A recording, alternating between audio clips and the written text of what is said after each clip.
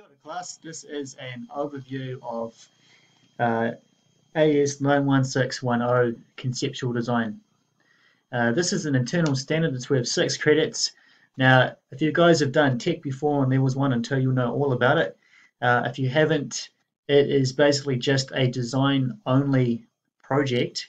So you, you won't be making the prototype at this stage, you're just going to be designing it and then you'll be making it in term three. So what I'm saying to all of you out there is the cutoff date for um, getting into the workshop and building your your go-karts for EVolocity will be term three. If we're not back into the workshop by the start of term three, we will have to do an alternative uh, standard. This for the rest of this term, you guys need to complete this conceptual design standard, um, and remember it's worth six credits. We won't be going back over this in class if we do get back to school you guys really expected to do this at home now. So I'm going to be putting together a series of videos to help um, talk you through how to do each um, page of the assessment. So starting with your teams here, you can see I'm in Project 2 EVolocity. Now there's two important files under assessment. The first one is the, the standard from NZQA itself. So open that up, just get familiar with what their requirements are to pass and to get merit and excellence. So you can see here, um, to pass, it just says you need to develop a conceptual design considering fitness for purpose in the broadest sense. Merit is doing all of that, but your idea is refined. Excellence, your idea is justified. Now there is um, a checklist of things you need to do for achieved. You can see you need to do four of these things here to pass. For merit, you need to do these two additional things, and for excellence, you need to do this thing here. Now, if you don't understand some of the language, it's, some of it's quite wordy, make sure you read the definitions of number four, what a conceptual design is, and number five, that's talking about fitness for purpose in the broader sense. So what does broader sense mean? It's really all that um, the um, all that info around the impact of technology on society. So think about um, for you guys, it would be very relevant to discuss the difference between a combustion engine and an electric engine. So what are the differences in terms of performance, uh, in terms of impact on the environment? Um, if you can talk about that kind of thing, you're really meeting that broadest definition. So the broadest sense definition. So make sure you read through all of that stuff and become familiar with the language. Now, I'm going to be mark the way I'll mark your work is this assessment schedule here. So this is what you need to really look at in detail, and I'll cover more of this in subsequent videos as we go along. But you can see this is straight from the standard.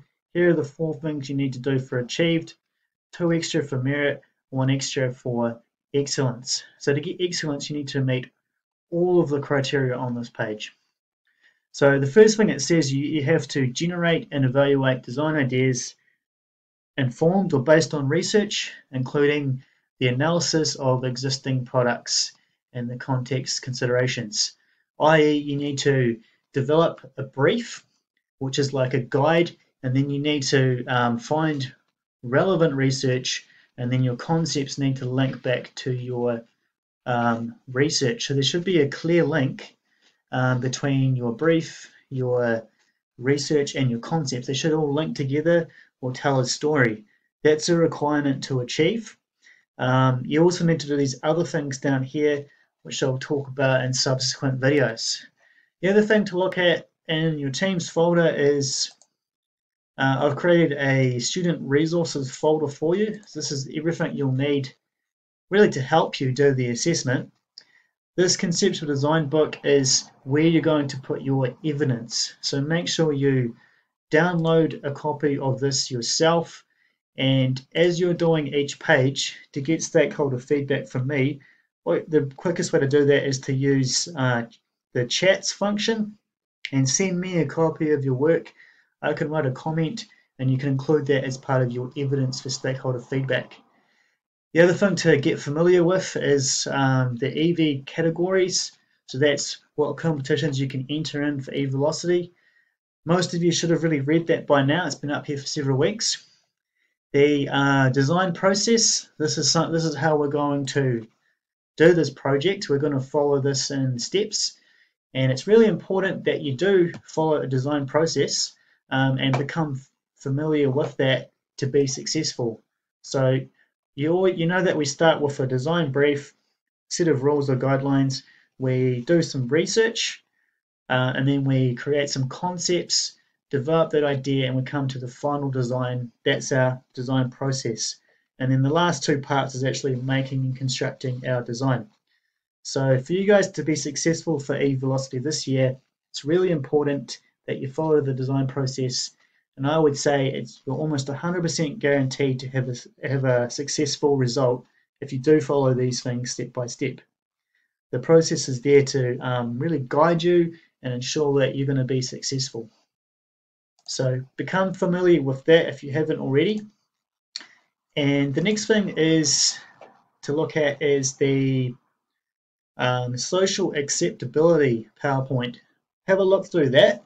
In a nutshell, social, accept social acceptability means um, is your design or idea acceptable to society in general? So, for example, if you come up with an extreme example, if you designed um, your go kart and you had like a swastika as a symbol on the go kart, that would not be socially acceptable or if you had gang insignia on your go kart, it would also not be uh, socially acceptable. So that's an extreme example, but you need to consider um, what is socially acceptable and know what that actually means. Have a look at that PowerPoint to get some understanding. Uh, this document here is from, from one of the ARA tutors, uh, Steve Tomset. You could actually make Steve one of your expert stakeholders to you know, show him some of your ideas as you go along, get some feedback. Have a look through that again as well. It's just really talking about steering and design. And um, that's it for now. So the next video, we're going to get straight into the brief.